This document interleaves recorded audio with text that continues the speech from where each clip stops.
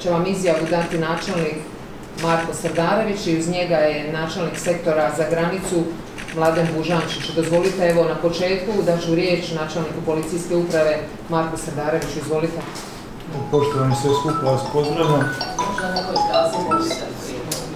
Obzirom na težinu ovog događaja i iskazan vaš interes, sazvali smo ovu konferenciju za medije kako bi vas obavijestili o novim činjenicama u odnosu na naše jutrošnje priopćenje. Prije svega da vas informiram da je obavljen očevid na mjestu događaja, njime je rukovodio zamjenik županijske državne odvjetnice uz potporu vještaka i policijskog službenika policijske uprave Splitsko-Dalmatinske. U događaju su očevidno utvrđeni elementi kaznenog djela dovođenja u opasnost života, života imovine opće opasnom radnjom i sredstvom i kazneno djelo protuzakonitog ulaska, kretanja i boravka u Republici Hrvatskoj. Obzirom da je osumnjičeni, odnosno vozač, smrtno stradao, biti će nadležnom državnom odvjetništvu upućeno posebno izvješće. U događaju su smrtno stradale četiri osobe, jedna od njih je vozač osobnog vozila za kojeg smo utvrdili identitet na temelju pronađenih dokumenata, radi se o državljaninu Moldavije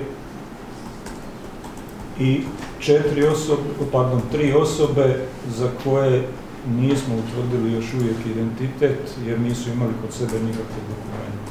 Sve tri osobe su muškog spola. Pet osoba je prevezeno u bolnicu, svi muškog spola, po procjeni liječnika dvoje djece, jedno dijete do 12 godina, drugo oko 15 godina. Pretpostavljamo da su ozlijeđene osobe po iskazima Afganistanci i Sirijci. Svi su muškarci, nemaju dokumenta. Do ovog trenutka smo uspjeli obaviti razgovor sa jednom muškom osobom koja se nalazi u bolnici.